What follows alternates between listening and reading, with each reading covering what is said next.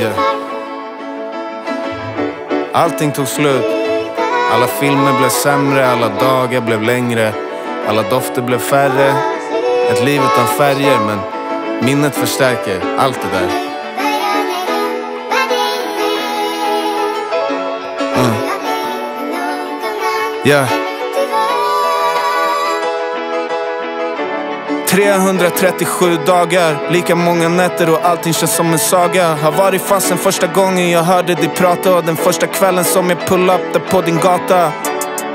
Vi träffades på en tisdag, jag tog det lugnt för jag hade ingenting att bevisa. På luren var det bara notiser ifrån Felicia Men det kändes aldrig som att det var något jag ville visa. Tog mina grejer och flyttade till din sida av stan. Du och jag var bara ett nykärt blivande par. I din lägenhet som var på 34 kvadrat Så satt du ganska tätt vid din sida så att jag så varmt att vi stannar uppe när taxin rullar fram där vid Londonviadukten Det är inte samma känslor längre nu när jag ser dig idag För nu är du någon annan än du brukade vara.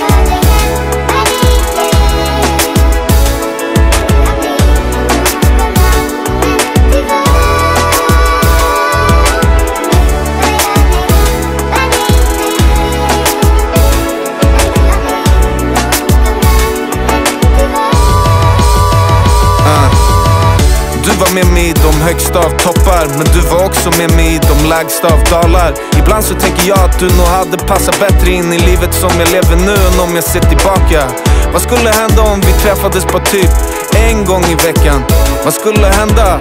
Vad skulle hända om vi tog det som vi båda fattar att vi bör förändra? Och förändrar Jag skulle välja dig framför hon andra som jag träffar alla dagar Tjejerna i denna stan både ser ut och pratar på samma sätt. De blir exakt som varandra efter ett tag. Hur skulle livet se ut om det vore du och jag? Nu idag de gångerna som vi har setts nu på senaste tiden har varit otroliga och jag tror nog att du känner samma sak.